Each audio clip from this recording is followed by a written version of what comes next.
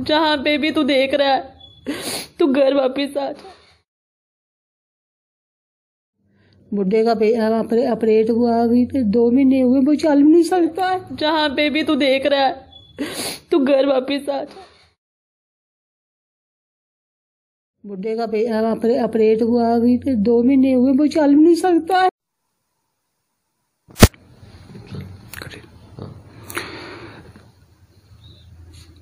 आपकी स्क्रीन पर इस समय जो हम फ़ोटो आपको दिखा रहे हैं, ये फ़ोटो है अमित गुप्ता की, जो कि जम्मू के जानीपुर इलाके के रहने वाले हैं। पैंतीस वर्षीय इनकी आयु है। और कल की बात करें तो लगभग सुबह तीन बजे से अमित अपने घर से बाहर निकले थे, लेकिन अभी तक लौटकर नहीं आए।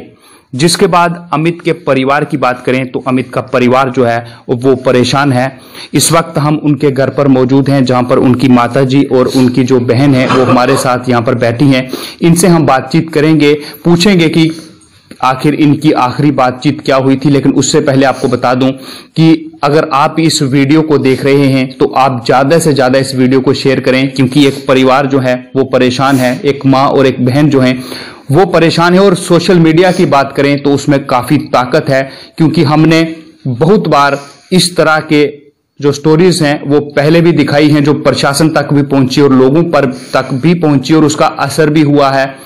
और एक बार फिर से हम आप सबसे अपील ये करेंगे, एक बार फिर से मैं अपने सहयोगी से कहूँगा कि अमित की फ़ोटो जो है, वो दिखाएँ। अगर आप अमित को जानते हैं, अमित आपको कहीं दिखाई देते हैं या फिर अमित को आप कहीं देखते हैं तो अपने जो कैप्शन हमारी है, इस कैप्शन में हम एक नंबर भी लिखेंगे और आप उस नंबर पर संपर्क करें ताकि अमित जो है वो जल्दी से जल्दी घर पहुँचे। अमित गुप्ता की माता जी हमारे साथ यहाँ पर मौजूद हैं। आंटी, जब आप सुबह जागे, क्या आपने देखा कि वो कमरे में नहीं है? आपको तब पता चला, कब पता चला आपको कि अमित घर पर नहीं है? हमने जब उठे तो हमने थोड़ी देखा मैंने कहा चला गया साढ़े सात बजे तक जाता था सुबह। फिर जब मैं पूजा नहाई पूजा की नौ सवा सवा नौ बजे तक देखा हमने तो बस फिर हल्ला मच गया अमित की बात करें तो पेशे से अमित करते क्या हैं? पेशे से दुकान करते हैं और क्या जब से संभाली हो तब से दुकान ही करते हैं। तो जब आप रात को सोए थे जब अमित भी आपके साथ बैठे थे खाना खाया क्या बातचीत आपकी अमित के साथ हुई थी? कुछ बताया आपने अपनी कोई परेशानी अगर उनको हुई हो तो क्या शेयर की कोई भी शेयर की उसने। दवाई लाई मेरी उसने मेरी पड़ी भी दवाई उसने और लाई दवाई उसने जे बोलो दवाई ले ले मैंने कहा तो अभी क्यों दवाई लाई तूने मेरी? बोलता रखना कोई बात नहीं फिर क्या हो गया? लाई है तो रख ले। चाय चाय पी है मैंने उसने बनाई मैंने पी है। उगा शुगर खाया उसने भी खाया हमने भी खाया सबों ने तो आपके जो रिश्तेदार हैं या उनके दोस्त हैं क्या आपने वहाँ पर पता कर लिया है? किया ना पता वो दो फ्रेंड जो उसके फ्रेंड है वो घर में आ रहे हैं। सारे आ रहे हैं बार बार पूछने के लिए। वो शॉप के ऊपर मलबा लगा हुआ किट्ठा हुआ। है हो सकता है वो कहीं आगे पीछे चले हों और हम ये उम्मीद करते हैं कि वो जल्दी से जल्दी वापस लौट आए लेकिन अगर आप को वो देख रहे हैं हमारे माध्यम से अमित कहीं देखता है तो क्या अपील आप उनको करेंगे? मैं यही बात अपील करूँगी कि जल्दी है जल्दी घर आ जा और क्या अपील करूँगी? मैं कुछ नहीं बोलूँगी तेरे को। आगे भी नहीं कुछ बोलती थी अब नहीं बोल अब भी नहीं बोलूँगी मैं तू जल्दी से घर आ जा अपना कारोबार संभाल और काम कर हम बुढ़ी बुढ़े को भी संभाल। बुढ़े का पे- अपरे- ऑपरेट हुआ अभी दो महीने हुए वो चल नहीं सकता है।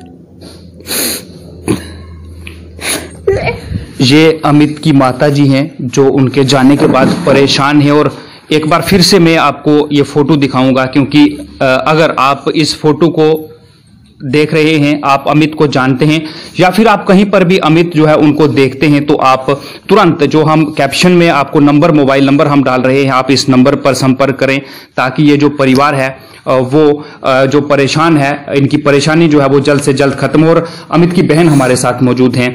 आपसे मैं जानना चाहूँगा कि बहन जो होती है, भाई के बड़े करीब होती है, आपसे अक्सर वो बातचीत जो है वो शेयर करते होंगे। क्या अमित से आपकी आखिरी बात हुई मेरी कोई आखिरी बात नहीं की है, उसने मुझसे कोई बात नहीं की है। मुझे बस यही है, उसने मुझे क्यों नहीं सुनाया? कोई परेशानी थी? कुछ था, मुझे सुनाता। क्यों नहीं उसने सुनाया? मैं यही बोलूँगी अमित तू कहीं भी है जहाँ पे भी तू देख रहा है तू घर वापस आ जा। तू घर वापस आ जा। तू घर वापस आ जा। कितने कितने दिन पहले आपकी अमित से बात हुई थी जब वो घर से गया उससे पहले की बात करें? थर्टी को हमारे घर में फ़ंक्शन था रिटायरमेंट का। वो कह रहा था मैंने फ़ंक्शन पे नहीं जाना है। उसको बड़े बड़े भैया ने बोला चल हमारे साथ क्या था मैंने नहीं जाना है। तो मैं अखनूर से आ रही थी। ससुराल है मेरे अखनूर में। मैं वहाँ से आ रही थी। रास्ते मैंने इसको, मैंने फ़ोन किया। मैंने कहा तू नहीं जाना है? कहता, नहीं, मैंने नहीं जाना है। मैंने कहा, नहीं, तुम्हें जाना है। कहता अच्छा ठीक है, मैं तैयार होता हूँ। आप मुझे लेने के लिए जानीपुर आ जाओ। मैंने कहा, ठीक है। जब हम रूपनगर पहुँचे तो इसने कहा, मैं शेप करवा रहा हूँ। आप कहाँ पहुँचे हो? मैंने कहा, मैं रास्ते में ही हूँ अभी। आ रही हूँ। कहता, ठीक है, आओ। बस वही रात मुझसे इसने बात की और उस रात मैं अपनी चाची के घर में, जहाँ रिटायरमेंट का फ़ंक्शन था, मैं उन्हीं के घर में रात को रही। सुबह मैं लेट आई घर पे। उन्हीं के घर में थी। मैंने मम्मी को कॉल की। मैंने कहा, अमित को भेजो मेरे को लेने के लिए। मैं आई घर पे। बस उसने बोला, तू यही बोला उसने कि क्यों? मन नहीं लगा तेरा वहाँ पे? मैंने कहा, नहीं, मैं घर आ गई अब। शाम को बस जब घर आया वो, उसने ये बोला मेरे को कि तेरा टाइम पास नहीं हो रहा था तो कपड़े धोने लग पड़ी। रात को आठ बजे मैं कपड़े धो रही थी। उसने मुझे बोला, तेरा टाइम पास नहीं हो रहा था। मैंने कहा, नहीं, मेरा टाइम पास नहीं हो रहा था। भाभी ने भी बोला कि रात को क्या कपड़े धोने होते हैं? सुबह धोना अब। मैंने कहा नहीं मेरा टाइम पास नहीं हो रहा। चलो मैं काम ये वाला कर लेती हूँ आप कुछ और कर लो। बस हमने यही पुलिस की बात करें तो आपने पुलिस में कंप्लेन करवाई हाँ है। जी कल की करवा दी है हमने। तो कल तो कुछ नहीं उन्होंने किया। आज है वो कह रहे हैं कि 24 घंटे के बाद हम करते हैं। पुलिस के लोग यहाँ पर आए थे। हाँ जी वो आए हुए थे कल। उन्होंने उसका रूम चेक किया। उन्होंने अपनी जो करनी थी तहकीकात वो की हुई है पर उनको उनको भी कोई सुराग नहीं मिला हुआ है कुछ भी नहीं है घर पे। उनको खुद बताया हमने कि वो पैसे भी छोड़ कर गया होगा घर पे। हाँ, यही इसी चीज़ पर मैं आने वाला था जो उनकी गाड़ी बाइक या कुछ था वो सब, सब यहीं पर है। ही है सब कुछ घर पे ही है। कुछ नहीं लेकर गया वो घर से ही पैदल निकला हुआ है। फ़ोन की बात करें तो फ़ोन फ़ोन उसका स्विच ऑफ़ है। मतलब घर पर नहीं है फ़ोन उनके साथ। हाँ जी फ़ोन उसके साथ ही है। सवा चार बजे का उसका फ़ोन स्विच ऑफ़ है। फ़ोन ट्रेस हुआ था घुमट से।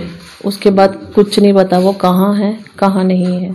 आखिरी आपसे मैं फिर सवाल करूँगा कि अगर अमित हमारे माध्यम से आपको कहीं पर देख रहे हैं या कोई जनता जो अमित को जानती है उनको अगर कहीं अमित दिखाई देते हैं तो क्या क्या कहना चाहेंगे आप जनता से? मैं तो यही बोलूँगी ज़्यादा से ज़्यादा इसको शेयर करो।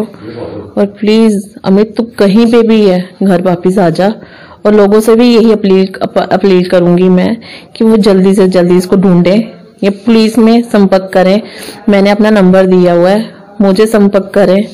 हम उसको जल्दी से जल्दी घर ले आए। मैं यही कहना चाहती हूँ। ये था अमित गुप्ता का परिवार आपको बता दूँ कि 35 वर्षीय अमित हैं, जानीपुर इलाके के रहने वाले हैं और परिवार जो है वो परेशान है क्योंकि कल की बात करें तो कल सुबह से अमित अपने घर से तो गए थे, लेकिन वापस नहीं लौटे। और आप लोग भी इस वीडियो को देख रहे हैं तो आपसे भी अपील ये करूँगा कि आप अगर इस फ़ोटो को, क्योंकि इसमें बार बार मैं ये कह रहा हूँ कि इस कैप्शन में हमने एक फ़ोन नंबर जो है वो दिया है।